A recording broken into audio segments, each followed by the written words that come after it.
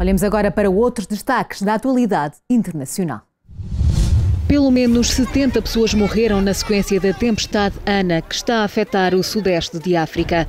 Só em Moçambique há registro de 20 mortes e mais de 40 mil casas e escolas destruídas pelas cheias.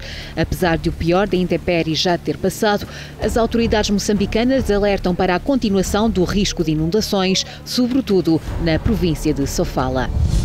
As autoridades nipónicas detiveram um homem com cerca de 60 anos por ter assassinado um médico e causado ferimentos a dois enfermeiros em Tóquio, no Japão.